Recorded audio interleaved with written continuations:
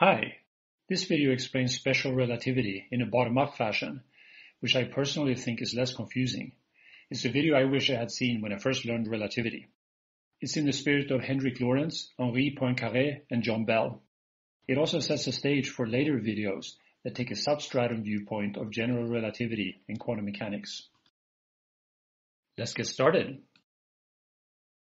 Let's look at the three basic phenomena of special relativity. We're going to have two identical spaceships. The first one is at rest. It never moves.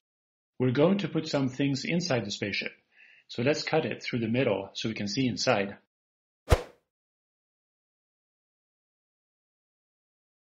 First, let's put a stick inside. The stick is one unit long and can be used to measure the length of other objects. Let's add a second stick that points forward. Now we're ready for the first phenomenon, which is length contraction. Objects that move contract, but only in the direction of motion, not sideways. The moving spaceship is identical to the first one, but because it's moving, it's shorter. The same is true for the sticks inside. The horizontal one is half as long as at rest. The vertical one is as long as before, but skinnier. In this case, the spaceship moves at 87% of the speed of light, we chose this speed to get a factor of 2 in contraction. The second phenomenon is time dilation. At high speed, objects move in slow motion. The clock on the moving spaceship runs at half speed compared to the clock at rest. This may be familiar from the twins paradox. If you fly to a different star and then return to Earth, you'll be younger than your twin who stayed at home. By the way, if you look at the clock hand, you'll notice the first effect, length contraction, when the clock hand is horizontal, but not when it's vertical. The third phenomenon is desynchronization. This means that a clock farther ahead in the direction of motion will run behind clocks farther behind. You can see that this is the case for the moving clocks, but not on the spaceship at rest. So, do objects contract and slow down with velocity?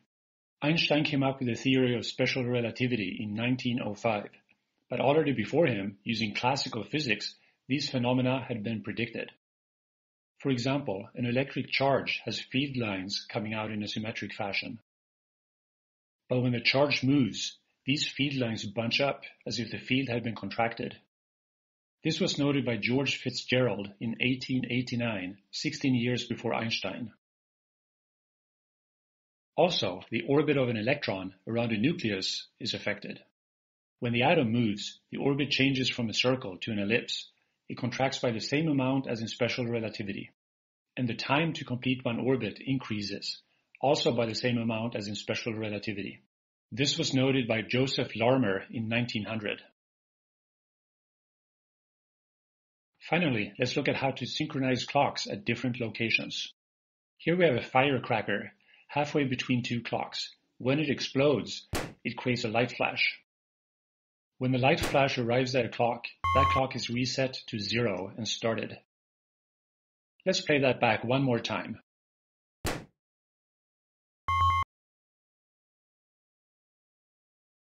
Now for the moving ship, we do the same thing. Here one clock is approaching the firecracker, so it'll get reset first. The other clock is moving away from the firecracker, so it takes a while for the light flash to catch up. When it does, the first clock is already ahead. This is how clocks on a moving spaceship end up not synchronized. Let's play that back one more time.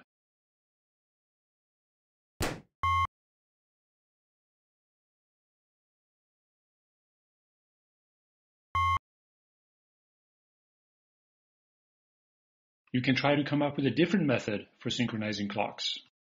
For example, you can put two clocks in the middle of the ship, start them and then move them apart. However, when you move them apart, the front clock has a higher velocity than the rear clock and therefore is going to run more slowly while you move it. The result is exactly the same. The front clock is behind by the same amount. Now that we totally understand the three phenomena, we look at situations that seem paradoxical and it will be easy to figure out. Let's look at Bell's paradox. We have two identical spaceships at rest. Each is four units long. And the distance between them is two units.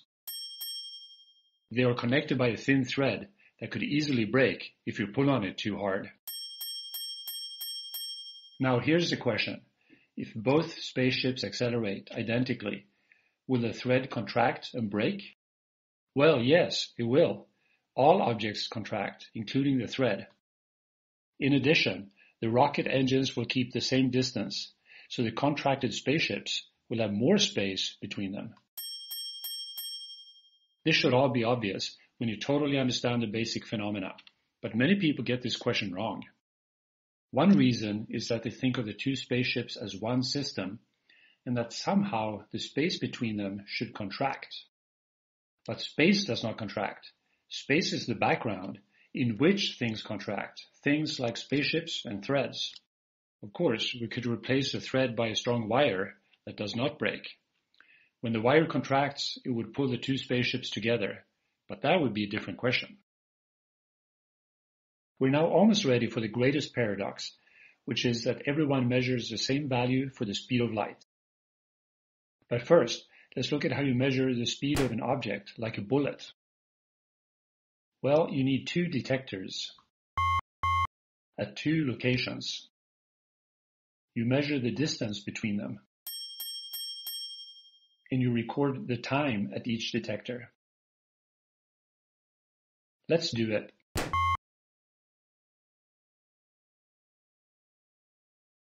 The velocity is distance divided by time. This bullet went at 87% of the speed of light.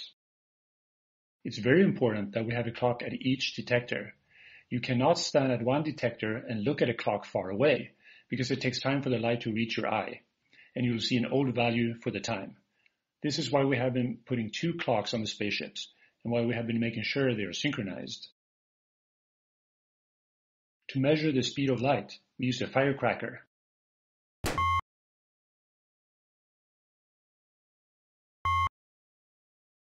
And we get the velocity 4 divided by 4, which is 1. But what about the moving spaceship? The poor guy has measurement equipment that's all messed up. The sticks are short. The clocks are slow and they don't even show the same time. So let's see what happens. When the firecracker explodes, the nearby clock shows 0. The one behind shows 3.46. The flash travels toward the second detector, and the clocks advance at half speed. The detector gets the light flash when its clock reads 4, so again we get 4 divided by 4, which is 1, the same value for the speed of light. Amazing. All this messed up equipment is messed up in just the right way. The three phenomena conspire to make sure that everyone measures the same speed of light. We should point out that the velocity is only measured to be the same for light. For example, if we fire the bullet at the same speed as a moving spaceship, that spaceship will measure the bullet speed to be zero.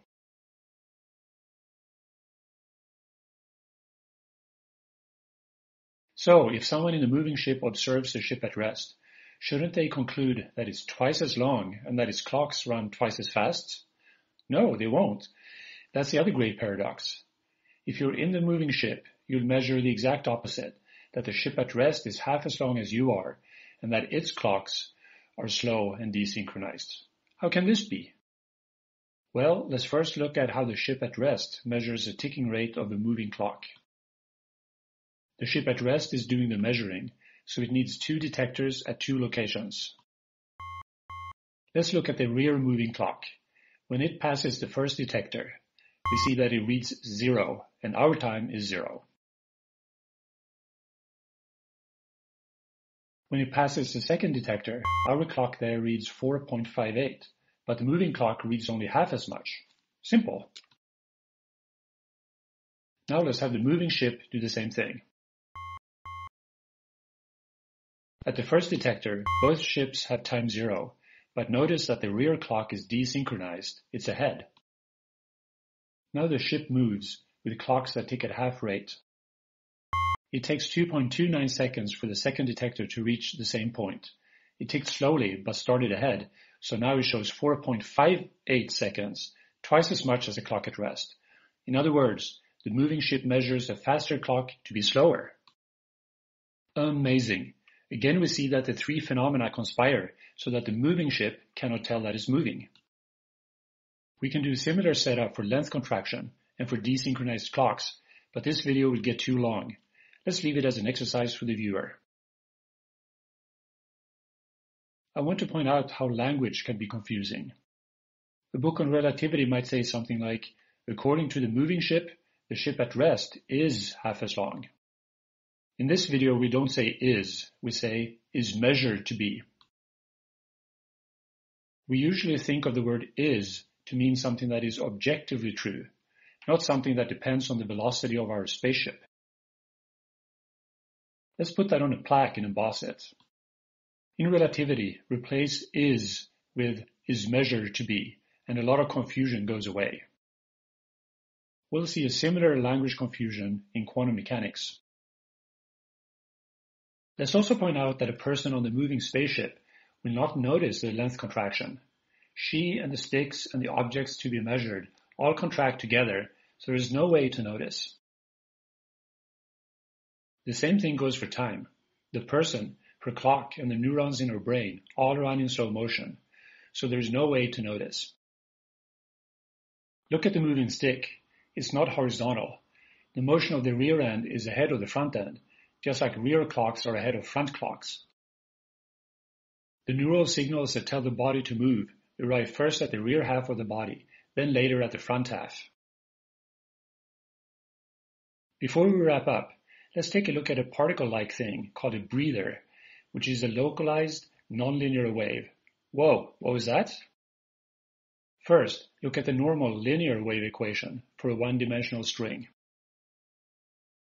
It only has solutions that run away with some velocity, the speed of sound or speed of light of the medium. But now add a nonlinear term to the wave equation, and we have solutions where the energy stays in one place. The pieces of string oscillate between kinetic energy and potential energy, or tension. The energy is trapped in one small region of space, and since mass is energy, we can pretend that this trapped energy is a particle.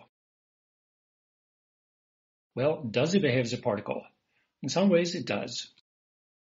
Let's look at a moving solution to the equation. This breather moves at 87% of the speed of the medium. Look closely and you will see the same three phenomena as for our spaceships and clocks and atoms. It's contracted by a factor of two.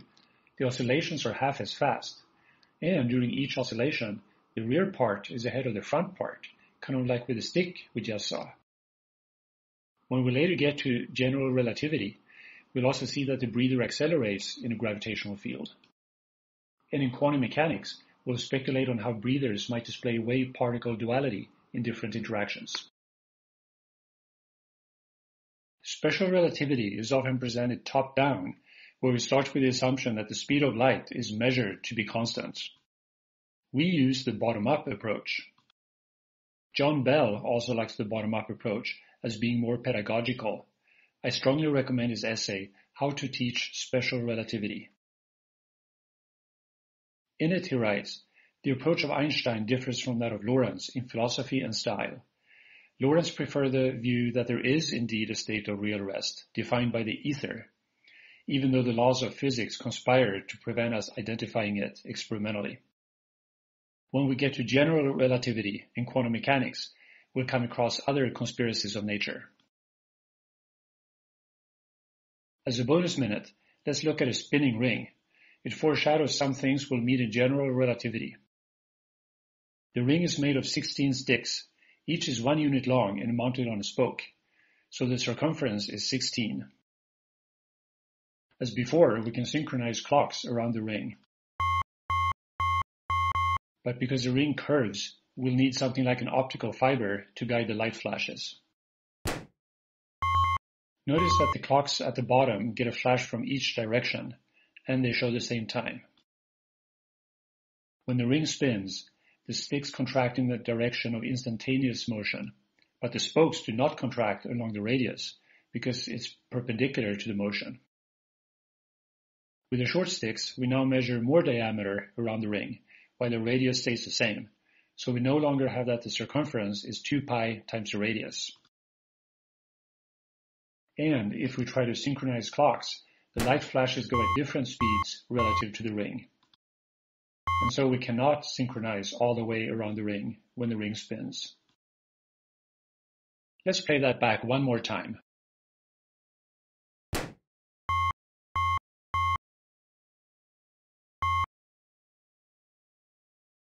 That's it. I'll see you in the next video on general relativity. For more videos, go to physicsisnotweird.com. And I'm Eyvind Bernander.